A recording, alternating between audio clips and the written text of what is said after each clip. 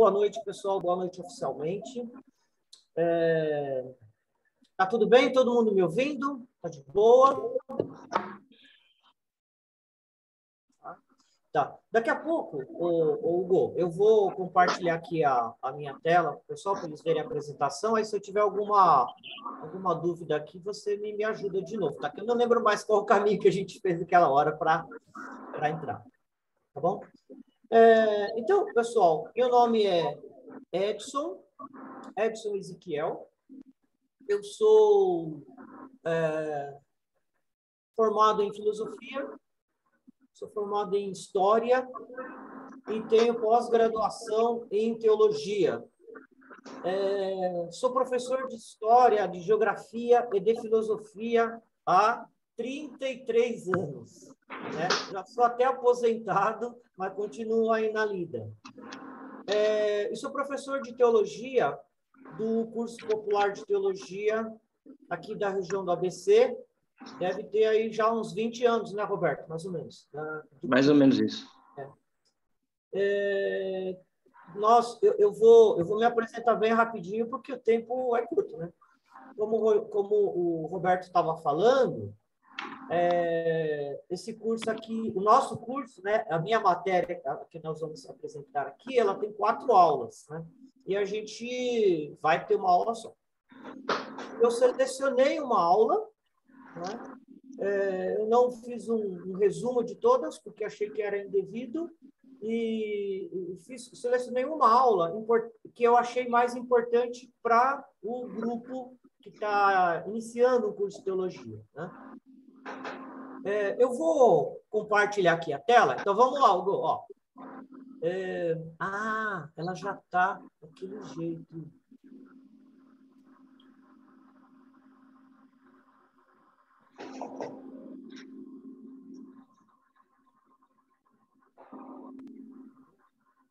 E aí, pessoal? Chegou aí, entrou? Bonito. Beleza? Tá todo mundo vendo aí a apresentação? Sim. Sim, ótimo. Então, tá bom. Então, é... ah, gente, eu, eu não estou vendo vocês, né? Porque quando a gente compartilha aqui a tela, eu vejo três, quatro pessoas só. Quando a gente é, compartilha aqui a apresentação, ela toma toda a minha tela e a gente não consegue ver vocês muito bem, tá? Então, é, não adianta levantar a mãozinha, fazer sinalzinho assim, que eu não vou ver vocês, né? Eu vou falar no chat, eu não sei se tem chat aqui, deve ter. É, vou falar, perguntar alguma coisa no chat, não adianta, porque eu não estou vendo. Né? Então, se alguém quiser fazer alguma pergunta, algum comentário, no momento em que a gente for fazer a participação de vocês, tal, né, uma, uma coisa mais dialogada, vocês, por favor, abram o microfone aí e, e né? Pode interromper, não fica, não fica com receio, não. Pode me interromper, não tem problema nenhum, ok? Muito bem. Então, é, o, o, uma das matérias que nós trabalhamos aí no curso, no curso Popular Teologia é Introdução ao Pensar Teológico não é? Ou seja, introdução à teologia. É importante essa matéria, é importante esse componente é, curricular, digamos assim, porque é, quando a gente vai fazer qualquer tipo de curso, quando nós vamos é, estudar qualquer tipo de curso, mesmo em graduação e tudo mais, a gente precisa de uma introdução para tomar contato com o vocabulário, tomar contato com o conteúdo inicial e principalmente tomar contato com o pensar daquele determinada daquela determinada ciência, né? Então, o Introdução ao Pensar Teológico tem exatamente esse objetivo: é, apresentar para o estudante de teologia é, o, o, o, modo de pensar do teólogo, né? É claro que eu não vou ter condições de fazer isso, porque, como eu disse, a gente vai trabalhar apenas uma, um encontro, né? É, mas eu vou trabalhar uma questão que eu acho a mais importante de todas para quem está começando agora, tá? É, se bem que tem algumas pessoas aqui do, do, curso que eu já vi, né? A Elo, o Reginaldo, que já fizeram curso, que, que já fizeram, fazem um curso com a gente, né? Comigo, com o Roberto e tal. Então, assim, Desculpe se for um pouco repetitivo aí, porque vocês já fizeram, agora quer fazer tudo de novo, então você tem que aguentar a, a marimba aí, né? Vamos lá. Muito bem. Qual foi o tema que eu escolhi para a gente trabalhar hoje, pessoal? é, está funcionando aí? Vocês viram a tela? Ela mudou? Está tudo certinho? Sim?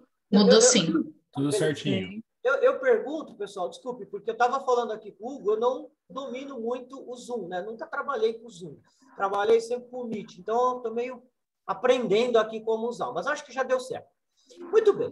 Então, pessoal, qual é o nosso tema de hoje? Nosso tema de hoje é o que é teologia.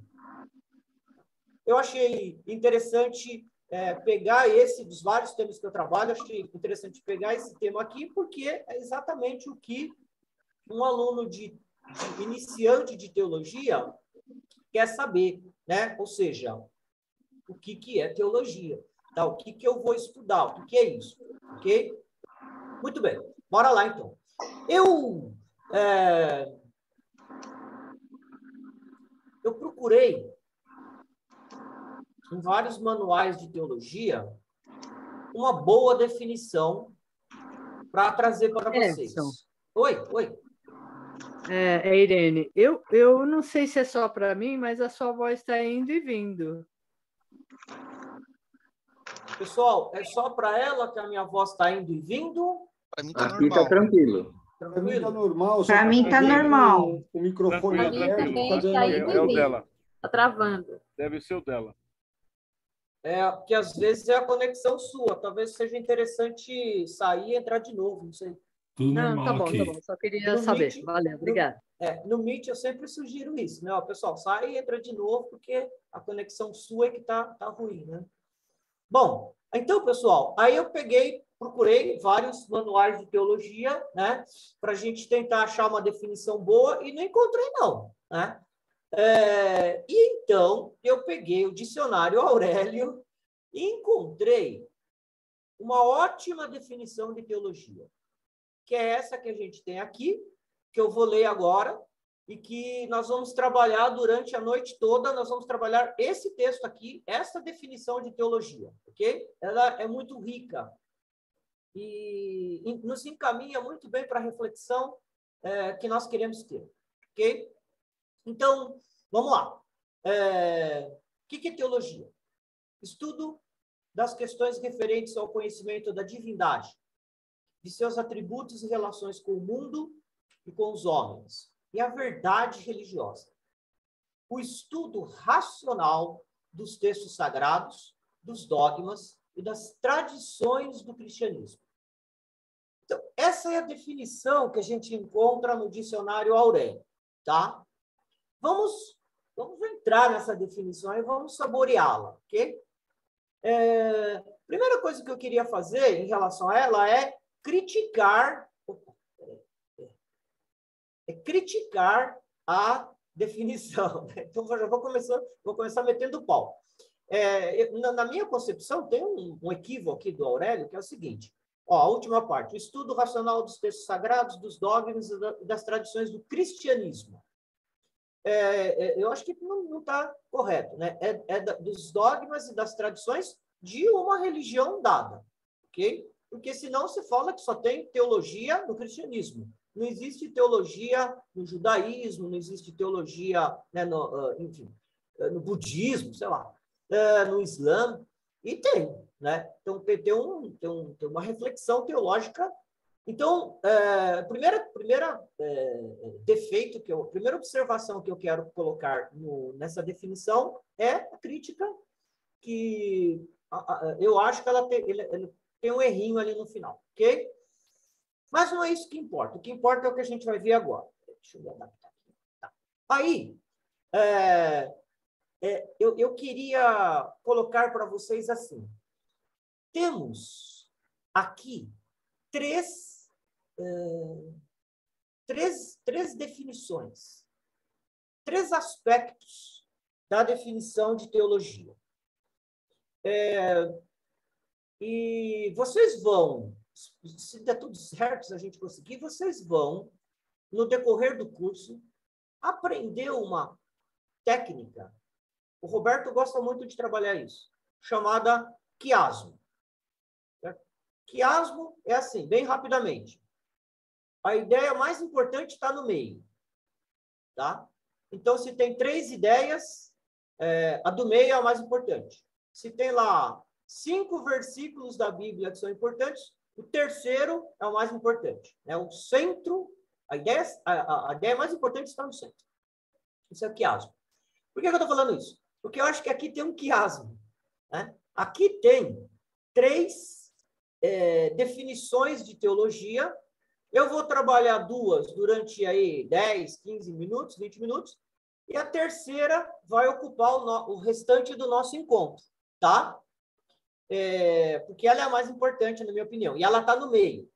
Então, bora lá. A primeira definição de teologia é a mais simples e, e possível. Desculpa, pessoal, toda hora eu aperto a tecla aqui, não é, é uma outra tecla aqui, perdão. Ó, então, qual é a primeira definição de teologia? O estudo das questões referentes ao conhecimento da divindade, de seus atributos e de suas relações com os homens, com o mundo e com os homens. Então, essa aqui é a definição que a gente chama de definição etimológica, ou seja, o que significa a palavra teologia. A teologia vem do grego a palavra teologia vem do grego, que significa estudo de Deus, ou estudo da divindade, ou pesquisa, reflexão a respeito da divindade, né, de seus atributos, é, de suas características e tudo mais. Então, teologia, se você perguntar, o que é teologia? Ah, o estudo de Deus. Né? Então, essa é a primeira é, ideia. Ponto. É, qualquer pessoa que for pesquisar, encontrará essa primeira definição. Ok? Beleza. Uma definição simples que eu não quero gastar tempo com ela. Qual a segunda é, definição? O estudo, olha lá, amarelinho lá embaixo. O estudo racional dos textos sagrados, dos dogmas e das tradições de uma determinada religião. Então, quando a gente está falando de teologia, nós estamos falando da relação entre fé e razão. É, teologia é uma ciência. Portanto, ela tem como instrumental a, a razão. E é a razão a razão é a capacidade que o ser humano tem de explicar com lógica uma realidade dada. Então, é, teologia é o estudo racional da fé. A teologia não é, desculpa, a razão não é inimiga da fé. É... Tem um tempo, vou contar uma história para Eu adoro contar história. Tem um tempo atrás aí, eu fui dar aula de teologia lá em São Caetano. Né?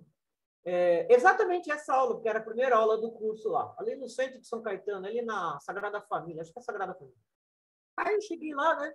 E não conhecia muito bem o local, e encontrei lá uma moça na entrada do prédio, e eu falei, ô, eu vim aqui para dar aula de teologia, onde que é a aula de teologia? Aí a, ela disse, peraí que eu vou me informar. Aí ela pediu para um cara lá, ele foi lá ver onde que era no prédio, onde que era a, a, a, a aula.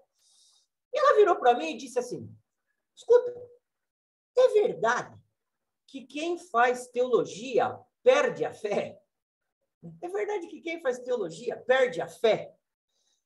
Aí eu disse assim para ela: escuta, ninguém perde aquilo que nunca teve, né? Porque se o curso de teologia e a razão te faz perder a fé, é porque você tem uma fé com pés de barro. E, pior do que isso, ela, eu já vou explicar o pé de barro. E, e, e fé é dom de Deus. Então, a, a teologia ela está para a fé Assim como um pente está para o piolho. Lembra quando a gente era pequeno, né? A mãe da gente passava o pente assim para ver se tinha piolho, para arrancar o piolho, para passar um pente na gente para ver se tinha piolho. A razão, ela quer passar régua na fé para deixar a fé mais madura. Para ver se a fé é, é, consegue é, resistir, a nossa fé consegue resistir aos ataques do mundo. Então, a teologia, na teologia, a razão, ela não é inimiga da fé. A razão não quer derrubar a fé. A razão, ela quer estruturar a nossa fé para que ela seja sólida, inteligente e, acima de tudo, prática. Essa é a função da teologia. Esta é a, a função da razão dentro da teologia e do estudo da fé, dos textos bíblicos, dos dogmas, das tradições, etc. Nesse sentido, é, a, a razão, pessoal, dentro da teologia, ela tem o direito, e aqui que é a questão mais importante, de questionar tudo. Aonde é que você faça teologia? O grande objetivo da teologia é questionar tudo. Para a gente entender isso. E para que, como eu disse, a nossa fé seja mais inteligente e madura.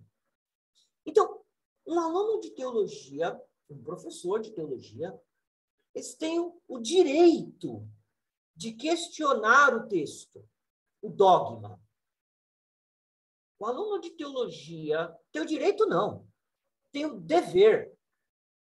O dever do teólogo é questionar se Maria era virgem mesmo. O dever do teólogo é questionar aquele texto, porque ele tem que entender aquele texto para arrancar dele a sua profundidade espiritual e, e, e mística. Então, o objetivo do teólogo é escrafunchar a fé. O texto, para entendê-lo melhor. Então, você que faz teologia tem que saber disso. Se o cara que está fazendo o curso de teologia é do seu lado, né, faz uma pergunta é, que você acha absurda, tipo assim, Edson, Deus existe? Aí você fala, como assim o cara perguntar se Maria era virgem, se Maria não era virgem, se Deus existe? Aqui você tem o direito e o dever de perguntar tudo. Isto é teologia. Ok? Muito bem. Para encerrar essa, essa segunda parte, lembra? Eu falei, ah, vou falar duas, né? Depois vou para a mais importante. É, você tem o direito e o dever de questionar tudo. Porém, pessoal, é, quando eu era. Vou, vou, contar outra história. Quando eu era. É, eu, eu, fui. Eu esqueci de falar isso, da minha biografia. Eu fui seminarista da Diocese de Santo André. Né? Eu não sei daqui onde que, te, onde que o pessoal está aqui, né? Deve ter gente do Brasil inteiro, né? Eu fui seminarista da Diocese de Santo André, 30 anos atrás. Né? E eu fazia filosofia, comecei fazendo filosofia e tudo mais, né? E o bispo daqui era Dom Cláudio Umes, na época. Ele era o bispo de Santo André, que uh, Dom Cláudio é, faleceu recentemente, aí, né? faz uns, uns 15, 20 dias mais ou menos, faleceu Dom Cláudio, não é isso? Mais ou menos. E um dia, né, eu era seminarista, eu com um grupo de seminaristas e tal, né? É, e o Dom Cláudio estava lá, e a gente era seminarista de filosofia. Seminarista de filosofia é um cara chato pra caramba, né? Porque é um cara que tem 19, 20 anos, está fazendo filosofia, né? Está entrando naquele mundo racionalista e tudo mais, acha que é o dono do mundo e que o mundo começou quando ele nasceu, né? Então, a gente questionava tudo, aquele negócio todo. E o Dom Cláudio, uma vez, ele, ele, ele disse assim para mim, e para mim não, para o grupo de, de, de, de meninos lá de seminarismo. Ele disse: olha, a razão tem o direito de questionar a fé. Porém, existe um momento,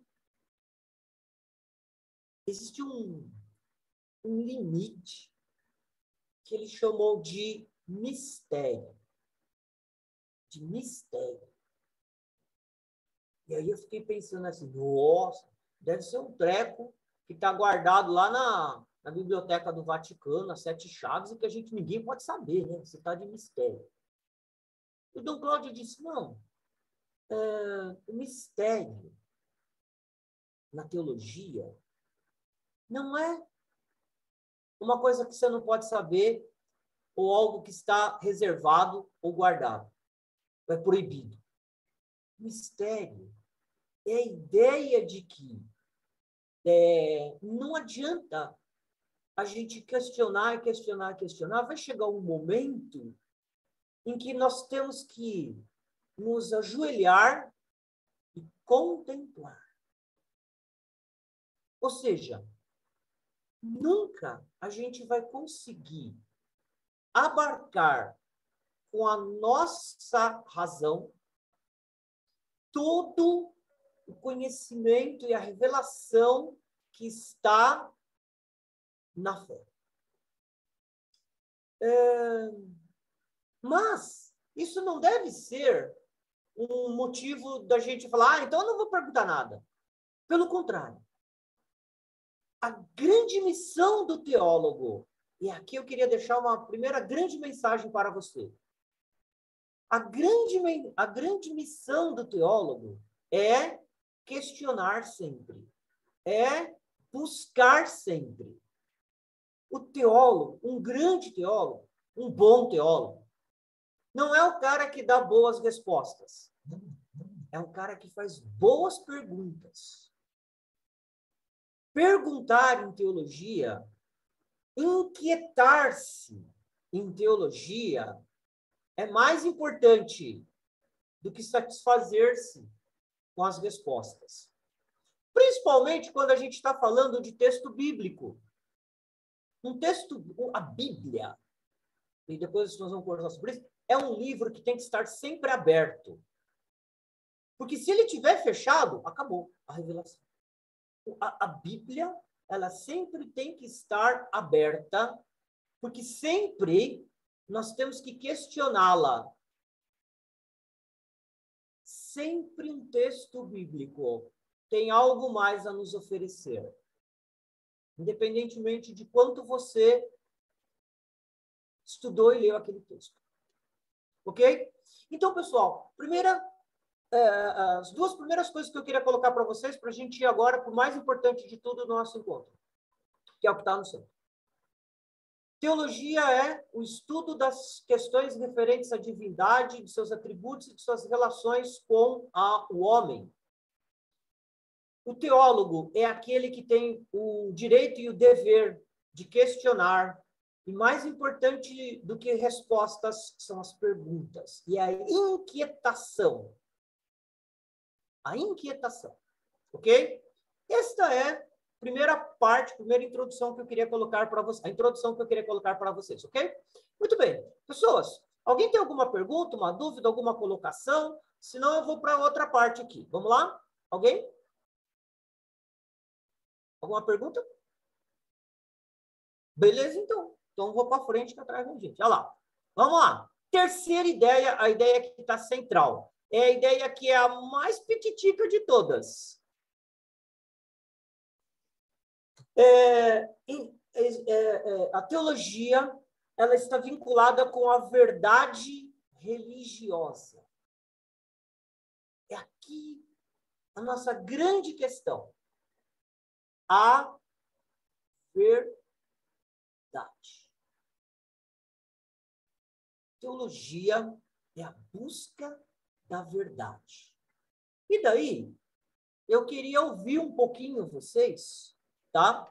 Queria ouvir um pouquinho, agora estou falando muito, enquanto eu tomo uma aguinha aqui e tal, Alguém poderia me responder? Eu, vocês vão falando aí, eu vou anotar aqui do lado, uma folhinha. Ó, vocês vão é, responder para mim. Alguém, alguém levanta a mão e fala: o que é a verdade? Quem poderia me dizer? O que é a verdade? Um de cada vez, hein? Não, não muita gente. O que é a verdade? Ó, só uma coisa, hein? Quem já teve aula comigo, essa aula aqui comigo, não vai falar, hein? Não pode. O que é a verdade? Alguém pode me ajudar aí?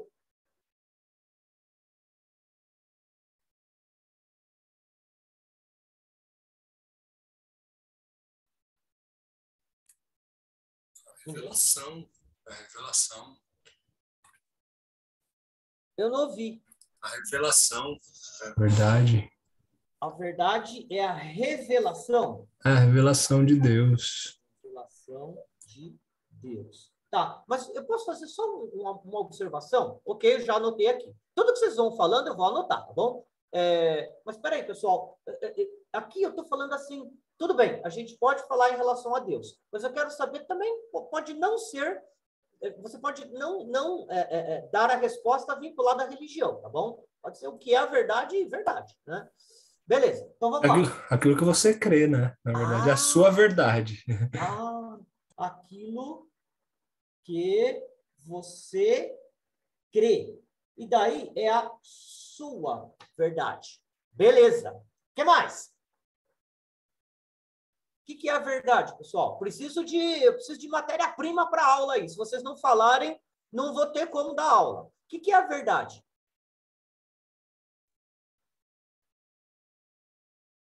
Eu penso que a verdade é um processo contínuo de busca da minha identidade enquanto ser que sabe que é mais do que o que é, mas ainda não sabe exatamente o que, que é mas ter dentro de si essa dimensão de que existe uma coisa profunda dentro da gente. Isso, para mim, é a minha verdade. Ok. Como é que é seu nome? Reis Oliveira. Reis. Eu vou anotar aqui que foi o Reis que falou isso. Eu anotei o que você falou. Né? Quer dizer, não tudo, né? Que você fez um tratado filosófico aí, né? Mas eu vou, eu vou voltar numa coisa que você falou e que a pessoa anterior, quem foi anterior que falou? Também disse isso. Eu, Eu. Denis. Davis. Denis. Denis, Denis, ok. Tá, ok. Processo de identidade, de busca de algo que está dentro de você. Ah, gostei desse negócio aqui, interior. Tá, o que mais? O que é a verdade? Seria algo que convence também uma maioria? Como assim? Não entendi. Você tem, você tem uma, uma ideia que convence a maioria e passa a ser verdade. Convence? É um convencimento. Entendi isso não. Não? A verdade, quem que está falando? Como é que é seu nome? Que eu não enxergo vocês aqui. A Benedita. Benedita? É. Benedita, a, a, verdade é algo que, que convence? Como assim? É, pra, que fica uma coisa que não tem como você contestar ah, de repente. Não dá para contestar a verdade. É, mais ou menos, porque até na aula passada nós vimos assim, alguma coisa assim, que você não tem como, ou é ou não é. Ah, vocês viram? Ou é ou não é? Ou é ou não é. Então, você vai chegar a um consenso. Aí passa a ser verdade. Agora, outro pode provar que é mentira. Eita, então agora eu fiquei confuso, ué. Ó, então, se a verdade é um consenso, ela pode ser mentira. Que diabo é isso? É, por isso nós estamos aqui para discutir. Vamos ver onde nós vamos chegar. É mesmo? Eita. É. Eu, agora eu fiquei mais confuso. Ué, Tá bom, mas é isso, vamos lá. É, vamos para outra, vamos outra pessoa, vamos chegar no consenso aí. a Benedita fugindo pela tangente, velho. Vamos aí, povo. A Benedita. Oi, ah, gostei também. Tá me Oi, ouvindo? pode falar. Pode falar. Então, eu acho que o que a, a Benedita quis dizer ali entraria no senso comum, né? E eu penso que a verdade, ela é aquilo que bate a nossa realidade com o nosso nosso racional, com aquilo que a gente vive, né? É, se a nossa nós vivemos aquilo que nós é, pensamos, né? Seria uma verdade, né? a minha verdade. Porém, a verdade na no todo seria quando nós ouvimos, compreendemos e vivemos aquilo. Isso seria a verdade, é, penso que eu, né, exposta, uma forma que nós vivemos a verdade que ela nos foi dada, né? Penso que seria mais ou menos isso. Sim. E, nossa, você falou um negócio aqui. Você, falou da, da, da, combinação da realidade com, com, com o nosso racional. Como assim? É, aquilo que eu penso, aquilo que eu vivo. Okay. Né? A minha razão, aquilo que eu penso, da forma que eu imagino que seja, com aquilo na realidade, com aquilo que eu vivo no dia a dia, né? Ok, mas vocês todos é, colocaram a verdade num caminho que está me incomodando um pouco, entendeu? Que é a seguinte, aí eu queria eu queria retomar é, desculpa, que o Reis, Reis, né? Reis, Reis falou, o que o acho que a Danilo falou, o que você falou agora, um pouco que a, a Benedito também falou. Pessoal, a verdade, a, a, algumas pessoas usaram a seguinte expressão: verdade é a, é a minha verdade. Então, ela tem uma relação com a realidade. Você, falou, você usou a palavra realidade, mas é a minha verdade. Aí eu pergunto para vocês: a verdade é minha? Eu não entendi isso, porque eu não sei, pessoal. Eu tenho a impressão que para ser verdade, ela tem que ser para todo mundo, ou não? A verdade, cada um pode ter a sua verdade? Como assim? O que vocês acham? Edson. Oi. Olha, menino, a hora que você fez essa pergunta, e aí o pessoal começou a responder, hum. que eu já estava pronta para falar alguma coisa, porque você me conhece, né? E aí, quando todo mundo começou a falar, hum. eu fiquei pensando, meu Deus do céu, o que é. Aí eu me perguntei, eu falei, para, respira, pensa. E eu descobri uma coisa, o que eu, eu, me, eu, me, eu me peguei me faz, refazendo essa pergunta. O que é a verdade? O, o que é a verdade? Porque a Benedita falou uma coisa aí, eu achei muito interessante. A gente fala uma coisa que é a verdade, digamos, ou qualquer um acha que é verdade, aí vem outro e diz, diz aquilo, ou seja, então, diz outra coisa, né? E aí aquilo não é mais verdade. E onde está a verdade? Oi? E onde que está a verdade, então? Pois é, mas aí é aonde eu vou chegar. Então, eu, mais ainda, eu fiquei perguntando o que é a verdade? E aí eu cheguei, aí me veio uma, uma coisa aqui. A verdade é aquilo que está posto.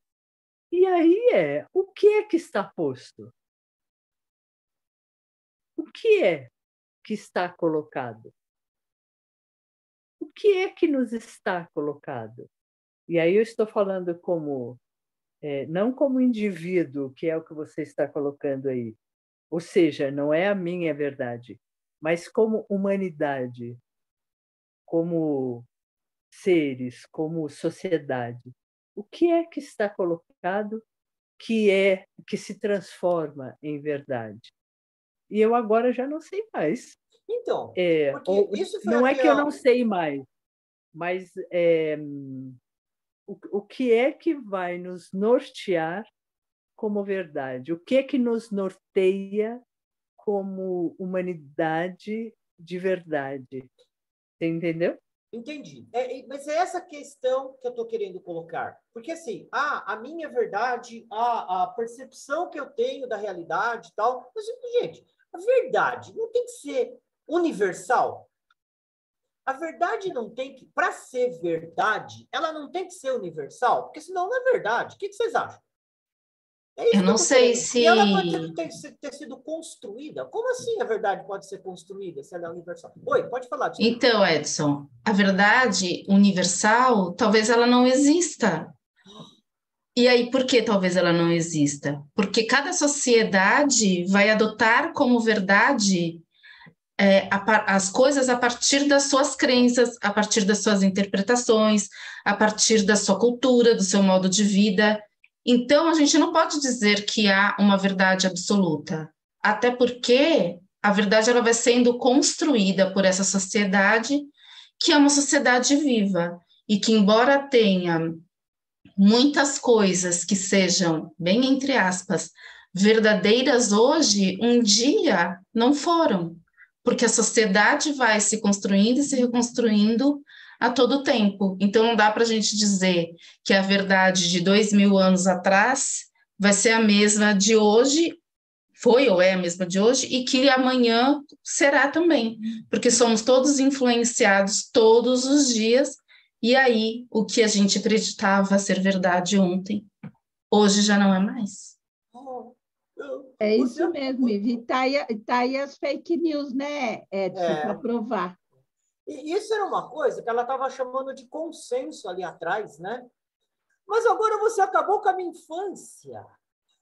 Eu não tenho, mas eu, eu falava assim, não, a verdade é verdade. Primeiro que verdade não é construída, ela é verdade, ela existe. Segundo que, se for verdade, quer dizer que a verdade depende do tempo. E a verdade depende da civilização, na sua opinião. Todo mundo concorda com, com, com eles, pessoal? Ou tem alguém é, que acha assim, não, verdade tem que ser verdade. Pode falar, pode falar. Eu acho que verdade tem que ser é. verdade. Hum. De certa forma, é Nelson que está falando, aqui do sul Nelson. de Minas. De certa forma, ela está restrita a determinado grupo, a determinado país, determinada nação, determinada cultura, religião e assim por diante. Vejam bem, mas isso é, eu vejo perigoso, porque os nazistas se esconderam atrás da sua verdade para justificar os seus atos. Sim. Um bandido, um miliciano, vai usar da sua verdade para justificar suas atrocidades. Você percebe? Sim. Então, é, eu acho que você até pode dizer que essa é a minha verdade, né? mas isso daí não é correto. Né? Não, não, não está correto. Precisa conceituar melhor. E aí, com a sua ajuda, vai ser bom isso. Né? Então, eu, eu vejo assim: é, vai existir sempre uma questão conceitual religiosa, científica, filosófica, atrás da verdade. Para mim. Eu fiquei muito confusa. Ô, professor. Eu. Para mim, a verdade é tudo aquilo que existe, ao contrário da mentira. A verdade. Ah, olha só que A verdade é tudo o que existe, ao contrário da mentira. O contrário da verdade é Aquilo que existe é a verdade. Olha, eu estou muito confuso. Vamos fazer o seguinte: vamos perguntar para um dinossauro, cara. Dinossauro que... existe? É, pois é. Vamos perguntar para um cara que é, deve saber o que é a verdade. Vamos perguntar para Jesus. Aqui. Vamos pegar um texto? Pegue a Bíblia aí, pessoal. Pegue João. Capítulo... lascou. Ele vai é. falar que ele é a verdade, o caminho, a verdade e a vida. É. Aí... Ah, olha, Jesus é o caminho, a verdade e a vida. Aí tem gente falando, eu tenho a minha verdade. Ué, como assim? Isso não é Jesus. Bom, vamos lá. Calma, calma, que nós vamos chegar lá. Pega aí, pessoal. Capítulo número 18, verso 37 e 38 do Evangelho de João. Acha aí. Acha lá. Acharam? Quem pode ler para nós?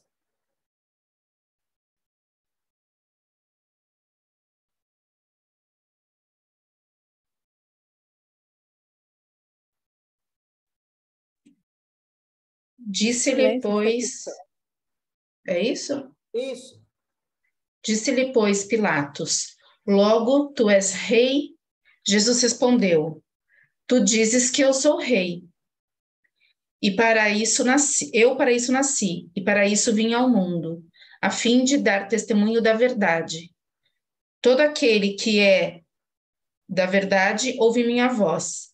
Disse-lhe Pilatos: O que é a verdade? Ah, olha aí, olha lá, olha lá. Agora o Pilatos pergunta para Jesus: O que é a verdade? Ah, aqui, aqui, e dizendo nossa, isso, nossa ah, vai.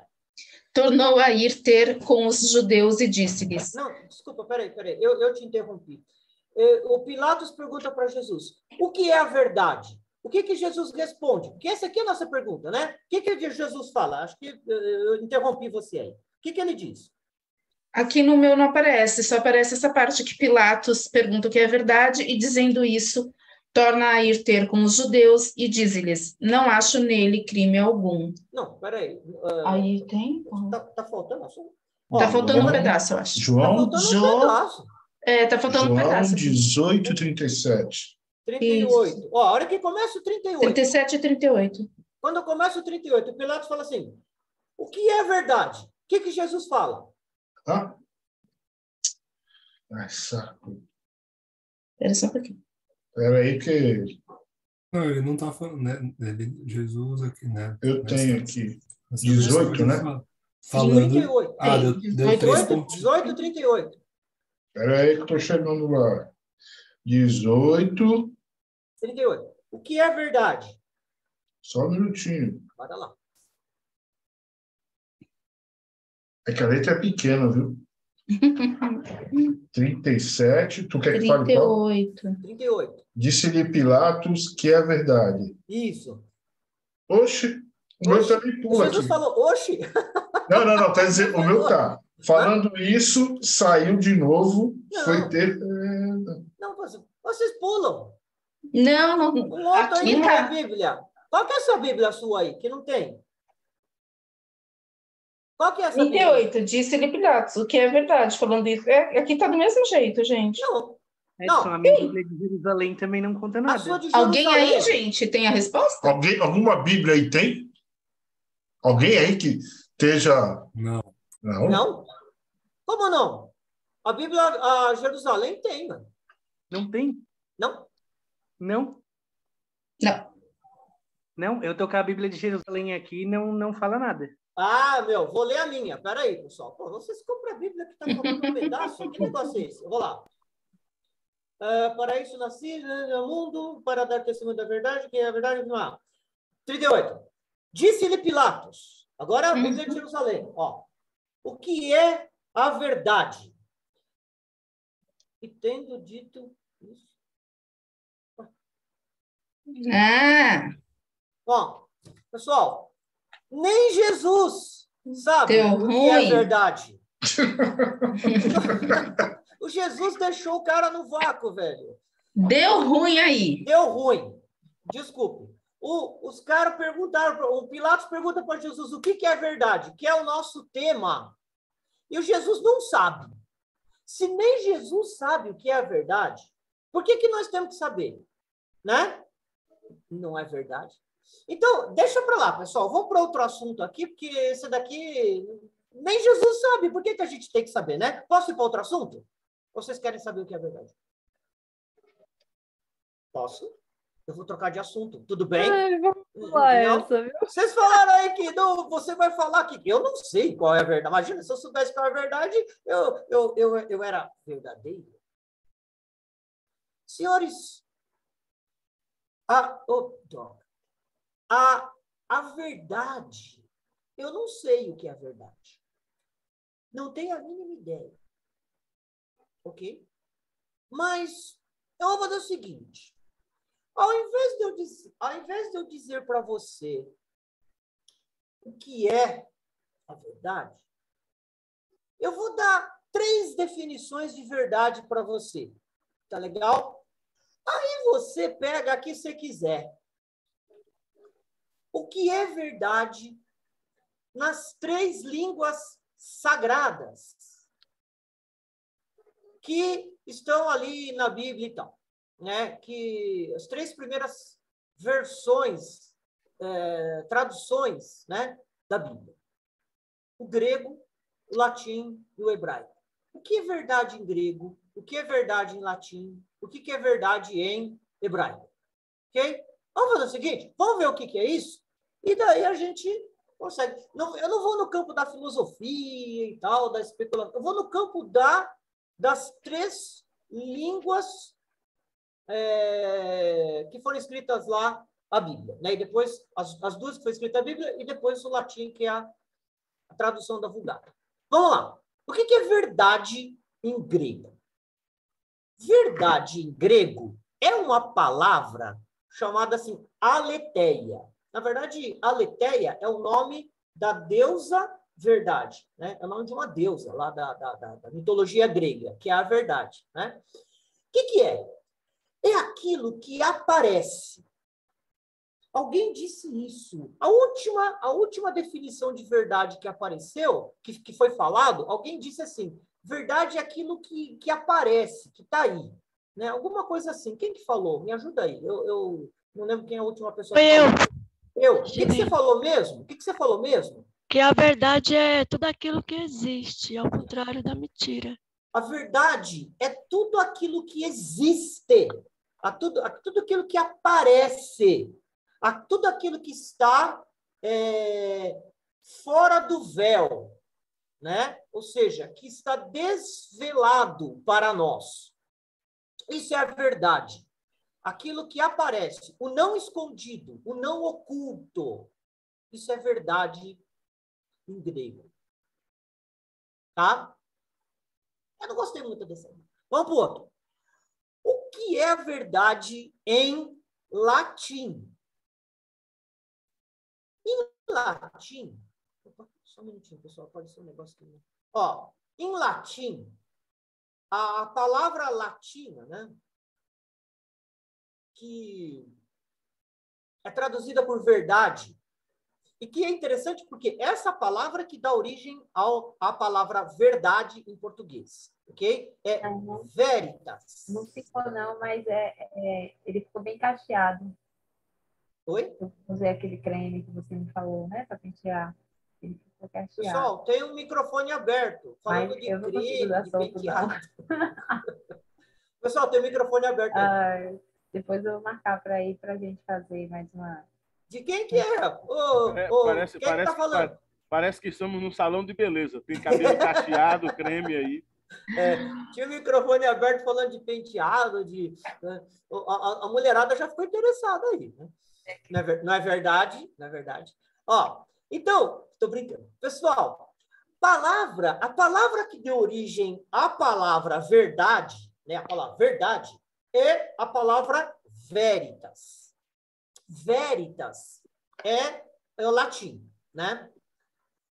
O que, o que é veritas? Aqui eu gostaria que vocês prestassem bem atenção numa reflexão importante. Veritas é o que, que é verdade em latim? É a adequação entre a palavra e o fato. Veritas é a adequação entre a palavra e o fato. Vamos lá.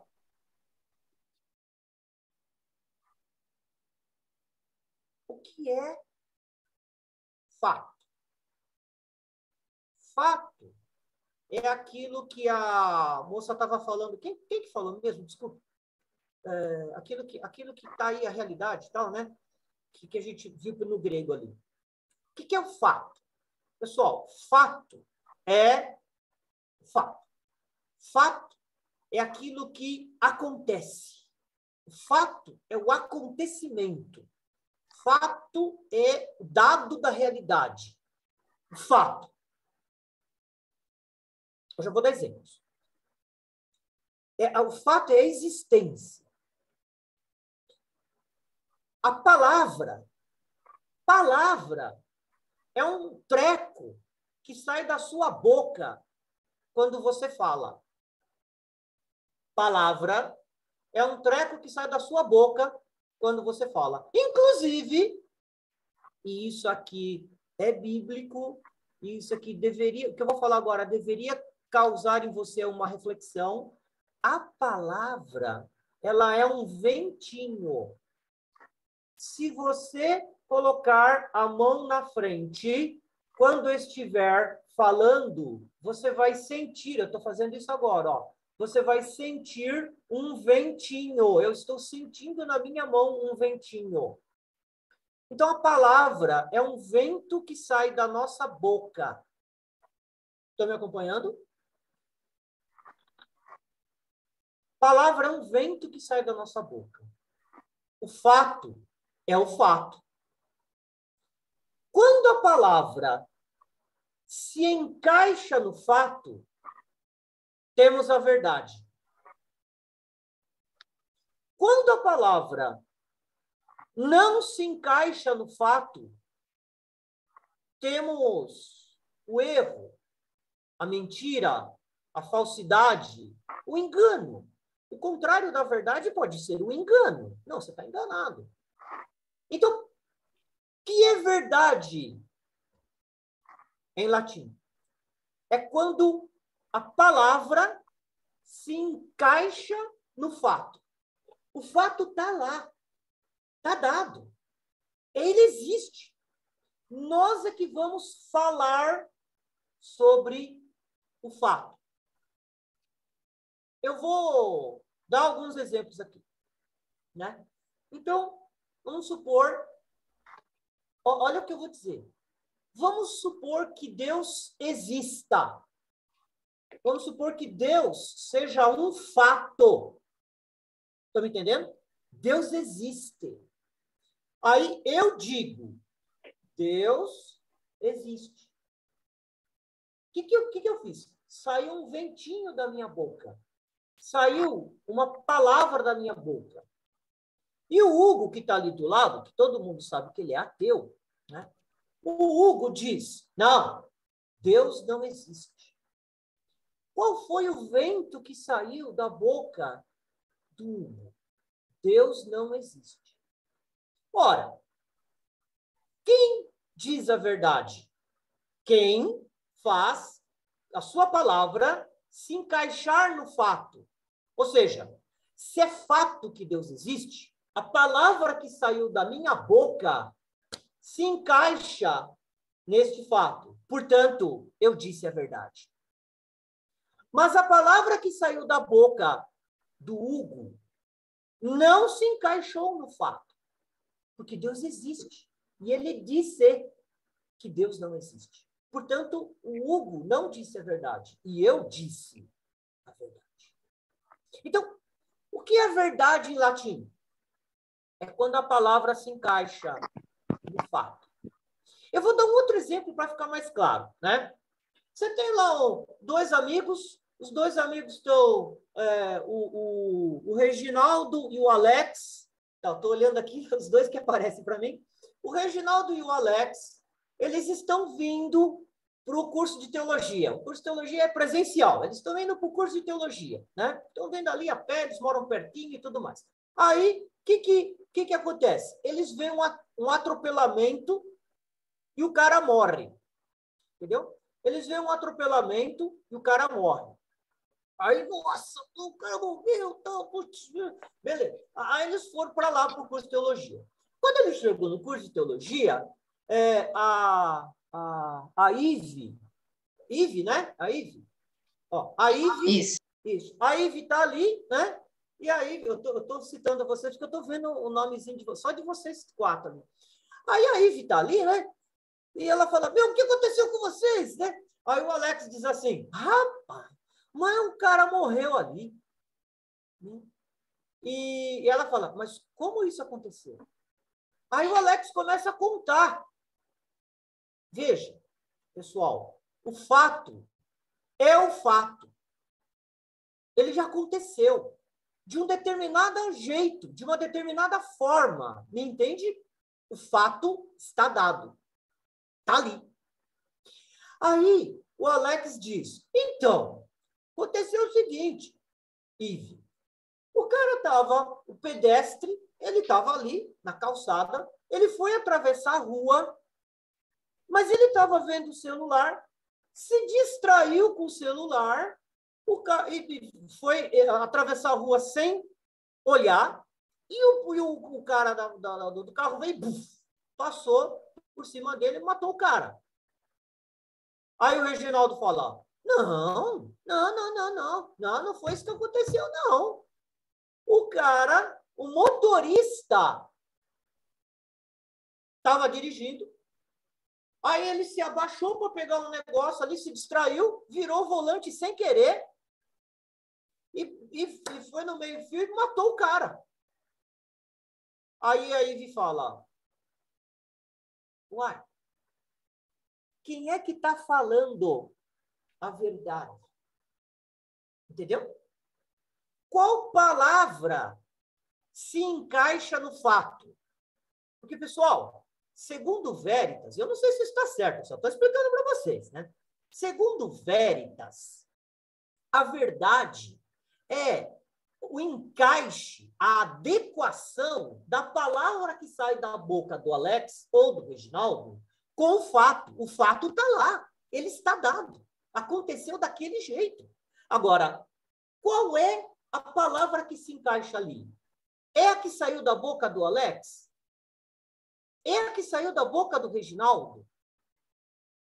Aí a Ivy fala, ué, mas como é que eu vou saber? Estão me acompanhando? Então, existe a verdade. Ou seja, a palavra que se adequou ao fato. A grande questão é: a gente consegue determinar isso? Porque o Alex fala uma coisa, o Reginaldo diz outra. A Ive fica sem saber. E quando isso acontece, preste atenção. Quando isso acontece, o que, que a Ive faz? O que, que eu faço? O que, que você faz? A gente escolhe.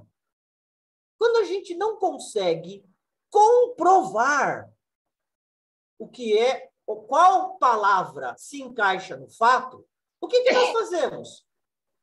A gente escolhe. Porque, pessoal, o ideal seria o quê? Que tivesse uma câmera, essa câmera gravasse o fato, o acidente. Isso é ciência.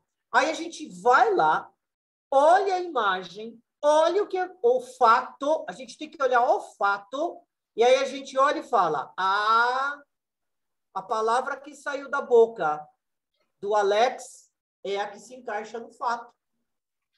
A palavra que se encaixa no fato eu estou vendo o fato. A palavra que se encaixa no fato é a que saiu da boca do Alex. Não entende? Então, ah, o problema é que a gente não consegue ver o fato, às vezes. E aí, a gente escolhe, escolhe qual verdade nós queremos acreditar eu vou acreditar na palavra que saiu da boca do Alex. Por quê?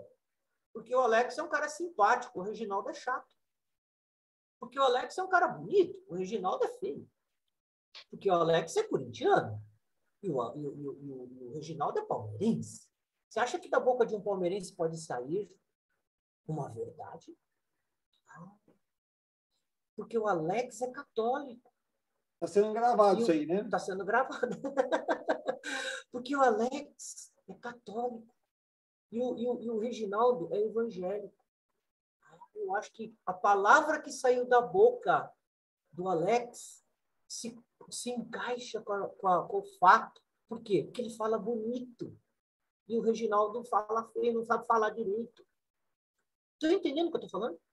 Quando a gente não consegue é, presenciar o fato.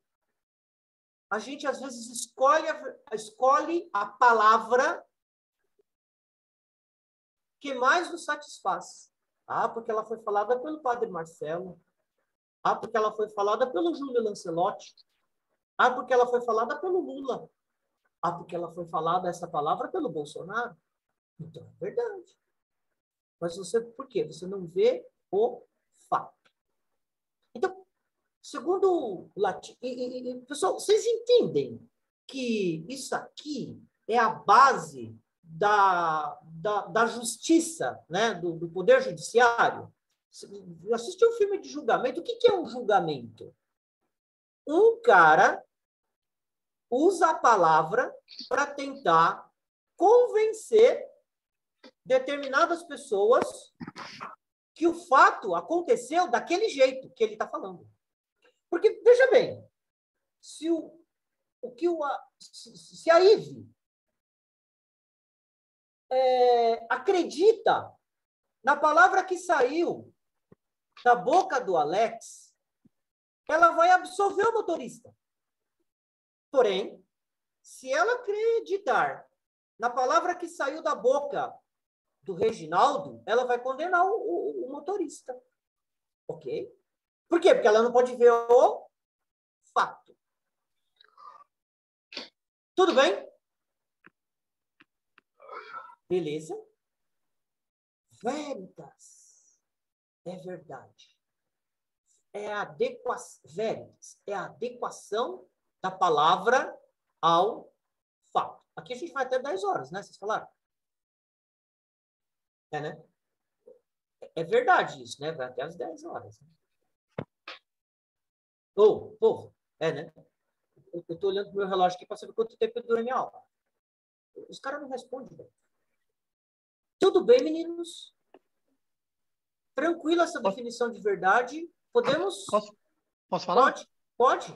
É, você me fez lembrar um filme, Doze Homens e uma Sentença. Oh, maravilhoso. Tem, tem a produção filme. mais nova e mais antiga, preto e branco e colorida. É. Exatamente isso. É um cidadão no grupo dos doze, né, que são membros de um júri, que convence os demais é, a respeito da, da verdade de cada um. Porque a, decisão do júri tem que ser unanimidade, né? É. então, Unidos, é, 11 pessoas achavam que o determinado suspeito era o culpado. E ele faz exatamente um trabalho de convencimento, adequando o fato né, à palavra. Oi? É, esse filme é maravilhoso, hein? merece ser visto por todos. Em Dois Homens, uma sentença espetacular. É isso. É isso. Pessoal, Veritas, a, o conceito de verdade em latim é a base de tudo isso aí, né? do julgamento e tudo mais. Tá bom, pessoal, podemos ir para frente? Beleza? Então, eu não sei se você gostou, não sei se você apreciou aí essa, essa definição de verdade. Também não sei se isso é verdade. Também não sei se essa definição é verdade e tal. Mas vamos para frente. É, eu disse para vocês que é, eu disse para vocês que é, eu ia falar três, a verdade, em três línguas: o grego, o latim e o hebraico.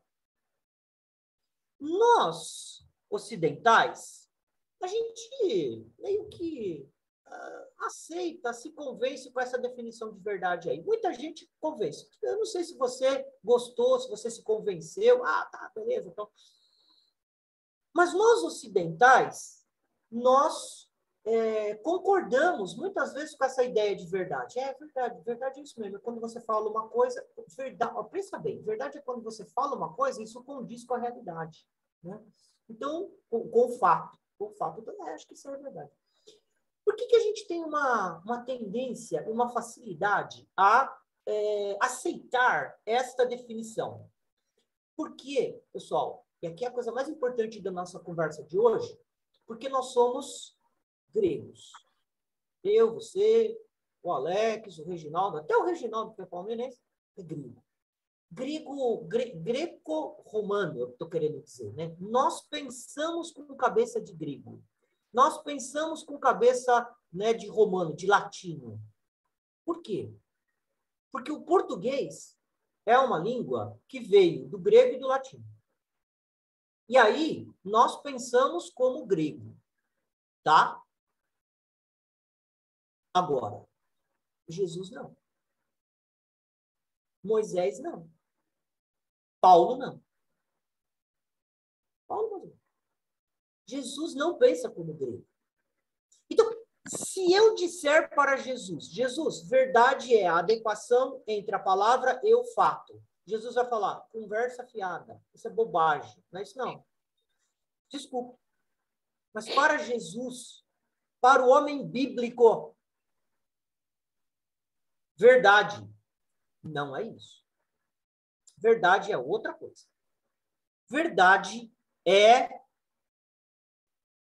emunar. Emunar. Emunar é verdade em, em hebraico. E o que é isso? Emunar é confiança, fidelidade. Fidelidade. Acho que é a melhor palavra é fidelidade. Fidelidade ao pacto entre Deus e o homem. Que é verdade para o judeu? É a fidelidade ao pacto entre o homem e Deus.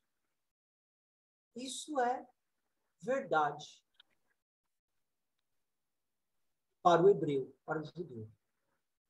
Portanto, senhores e senhoras, aquela hora eu estava brincando com vocês. Porque Jesus deixa o Pilatos no vácuo porque aquela pergunta que foi feita pelo Pilatos é uma pergunta imbecil. É uma pergunta idiota. A pergunta que o Pilatos fez para Jesus não se faz para um judeu. Estou falando um judeu lá da época de Jesus, né? Hoje é outra coisa. Por quê? Não se faz essa pergunta para o judeu. O que é a verdade? Essa pergunta é a pergunta de um filósofo idiota, que nem eu. Entendeu? O que é a verdade? Oh, vamos, vamos, vamos raciocinar aqui, vamos uh, filosofar e dar um, um conceito de verdade. O judeu não está preocupado com isso. Essa pergunta não é uma pergunta boa para o judeu. A boa pergunta para o judeu é: Você é verdadeiro? Essa é a grande questão para o judeu. Você é verdadeiro? Porque o que é verdade para o judeu, é para Moisés, para Paulo, para Jesus, para João, não se faz essa pergunta. Porque essa pergunta é uma pergunta especulativa. Não é isso que o judeu quer responder, não é isso que o judeu quer saber. A Bíblia não quer saber o que é a verdade. A Bíblia quer saber se você é verdadeiro. Ou seja, a grande questão da Bíblia é fazer a seguinte pergunta para você: Você é verdadeiro? Você é fiel ao pacto entre Deus e o homem? E o que é o pacto? O que é pacto? pacto é uma é um acordo. Pacto é uma aliança. Agora eu estou falando com o vocabulário bíblico. O que é a verdade? A verdade é ser fiel à aliança entre Deus e o homem. Uma das tradições judaicas mais importantes é a tradição da aliança, Berit no hebraico. E que aliança é essa? Vários textos bíblicos falam da aliança. Deus fez aliança com Adão. Deus, Deus fez aliança com Noé. Deus fez aliança com é, Abraão. Deus fez aliança com é, Moisés. É, Jeremias fala da aliança. Jesus, Jesus fala da aliança. Este é o sangue da nova e eterna aliança. Então são várias alianças. Não, não, não, não, não. É uma aliança só. Deus fez uma aliança com o homem. Ela aparece em vários momentos dentro da Bíblia. Mas ela é uma aliança. Uma só. Uma, então, somente uma. Qual é essa aliança? eu podia dizer para você o seguinte: uma aliança é uma troca, é um acordo. Eu te dou uma coisa, você me dá uma coisa. Deus fez uma aliança com o homem. Ele disse: Eu vou te dar uma terra que verte leite e mel.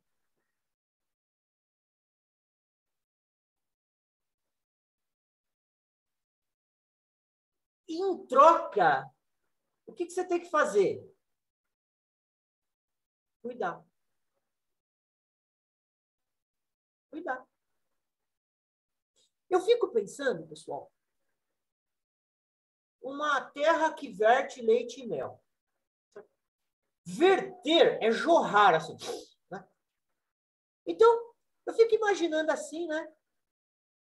Você está lá, você está acampando assim, na beirada do rio, aí você pega uma caneca, de manhã cedo, assim, você acorda, pega uma caneca, aí desce no rio e pega um pouco de leite. Né? Pega um pouco de leite.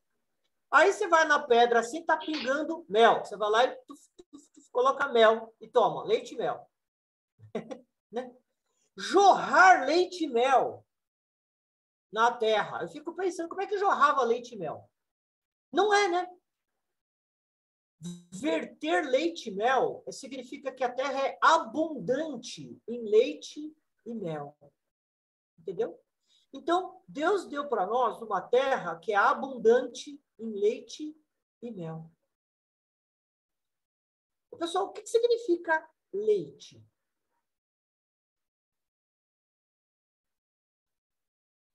que significa leite? Leite. Eu vou comprar o leitinho das crianças. O que significa leite, figurativamente?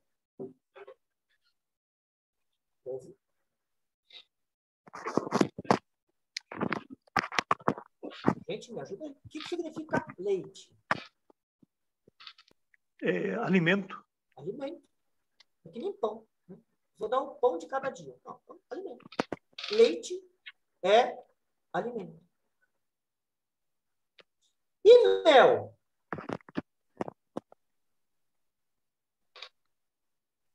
Qual a característica do mel? É a doçura. A doçura.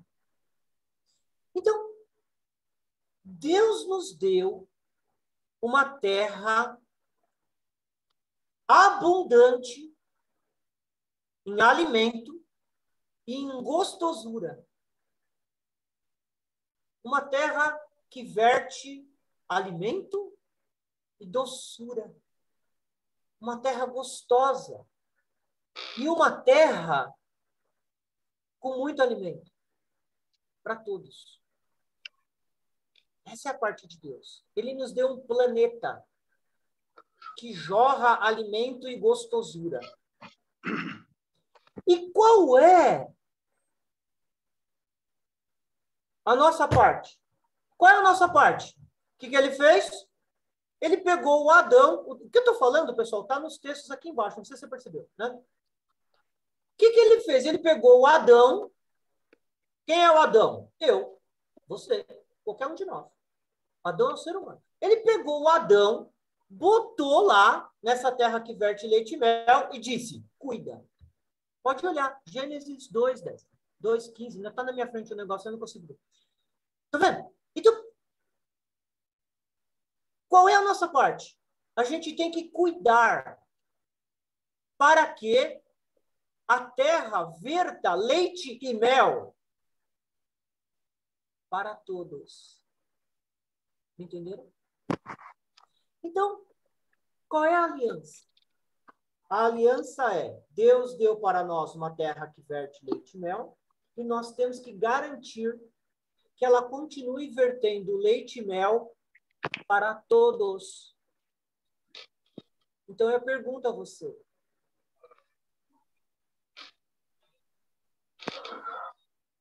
O que você faz para que a terra continue vertendo leite e mel para todos? Porque não se pergunta para um judeu o que é a verdade. Se pergunta para o judeu se ele é verdadeiro. A Bíblia foi escrita para nos fazer a seguinte pergunta: Você é verdadeiro? Ou seja, o que é que você faz? Eu não, não quero saber o que você fala. O que você fala não me interessa. Eu quero saber o que você faz para que a terra continue vertendo leite e mel para todos. Nada? Vixe Maria. Então você não é fiel. Então você não é verdadeiro. Você pode até dar uma definição aí filosófica, antropológica, não sei o que lá, de, de verdade. Mas você não é verdadeiro. A Bíblia não está preocupada com uma definição de verdade. A Bíblia está preocupada com você, comigo. A Bíblia quer saber. A Bíblia quer saber se nós somos verdadeiros. Sacaram? É isso que Jesus deixa o Pilatos no vácuo. Ah, quer dizer, Ive, Jesus não deixa o Pilatos no vácuo. A gente é que não entendeu direito o texto. Quer ver? Hum. Pessoal, volta lá no texto. João 38. Eh, desculpa, 18 nem tem 38 João 18, 37 38. João 18, 37 38. Jesus não deixou Pilatos no vácuo. Porque Pilatos não entendeu. E nós também não entendemos. Mas agora nós não entendemos. Pega lá. João 18, 39 e 38. Bora lá. Eu tenho meia hora, né? João 18, 39 e 38. Vamos lá. É, é, desculpa. João 18, 37 38. Né? Mas tem que ler. Sabe por quê? A grande questão não está na 38. 37. Quer ver?